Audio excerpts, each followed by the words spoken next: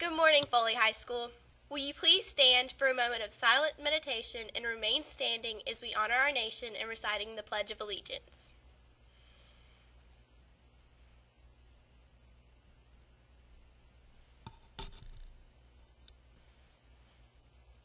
And now, join me for the pledge. I pledge allegiance to the flag of the United States of America and to the republic for which it stands, one nation under God, indivisible, with liberty and justice for all. Good morning, Foley High School. Welcome to the Lion Pride News Network.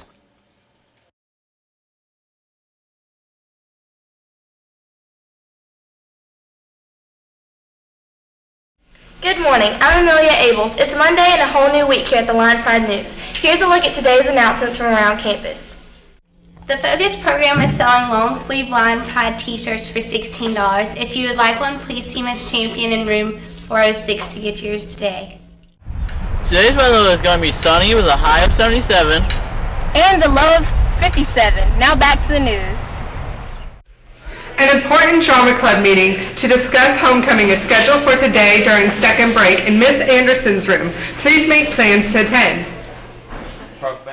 Attention Gulf Coast singers, dancers, and actors. Eric Walker from Impresario Productions invites you to audition for the Beat Unemployment music video. They are asking for all types, shapes, sizes, and colors, and male, any male or female between the ages of 17 and 70 to portray job seekers and employers. You need to bring your picture and a resume if you have one. No experience is necessary. Be prepared to do an acting and a dance audition, and so you want to make sure that you bring comfortable clothing. There are some roles that are non-dance roles. So Megan, when is this shindig? Well, Logan, it's Monday, October 8, 2012, from 6 p.m. to 9 p.m. And where is it at? It's at Baker High School Auditorium on 8901 Airport Boulevard in Mobile. There you have it, folks. So for any of you that ever dreamed of being in a music video someday, and if you're between the ages of 17 and 70, this is for you. This is a message for Hayden Harper. Happy, birthday! Happy birthday, little sis. Love you. Today for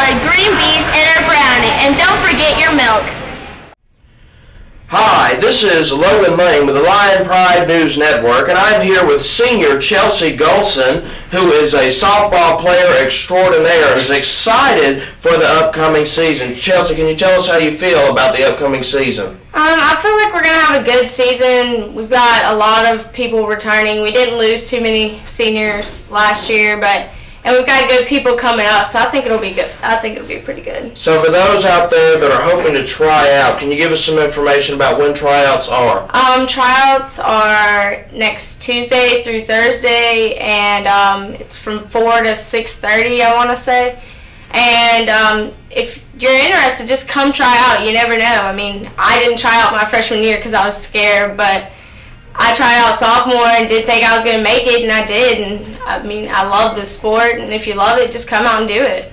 Well, Chelsea, well, I'm glad you spoke with us today. It seems like you're very passionate about softball. I'm sure there are a bunch of people out there who feel the same way. So, like she said, try out. Don't be afraid. If you love it, do it. And Chelsea will be right there along with you. Thank you for talking to us today. Now back to the news.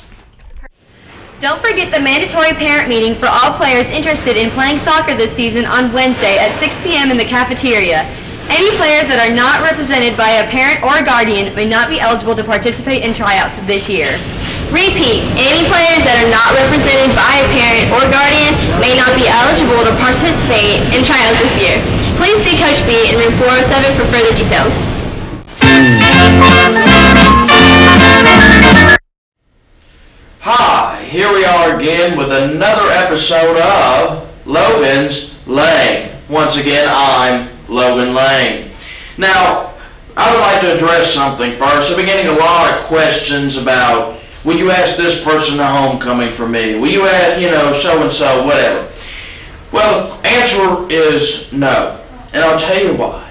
Why? Because, one, I don't want to go to homecoming with the person you want me to ask to go to homecoming with you. So therefore, why would I ask them?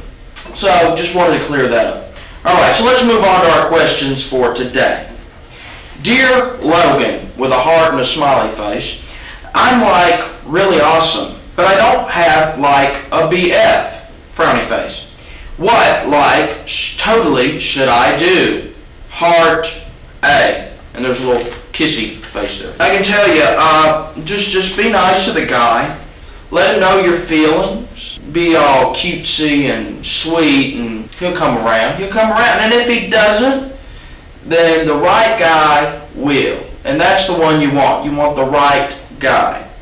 All right. So next question. Logan, why do you talk to us like second graders? Well, friend, I didn't know that I did, but um, that's besides the point here. Well, in order to answer that question, why do I talk to people like they're second graders? Let's take a look at this person's next two questions. Question number two, why are pineapples sharp? Number three, do you like My Little Pony?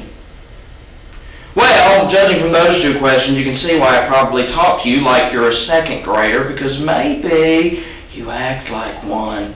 So, Miss Captain Extreme the Defender and Lupe the Cupcake King, wonderful high school names there. Anyways, I'm sorry if you feel that way, that I talk to you like you're a second grader.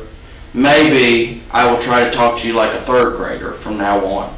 Okay, thanks. So that's all my questions for today. Remember that you can turn in any question, complaint, concern that you may have, and I will address it right here because I'm the voice of the people. This is Logan Lane, and you have been watching Logan's Lane. Now back to the news. And there you have today's Lion Pride News. We'll see you back here tomorrow for more news around campus. Have a great day. This is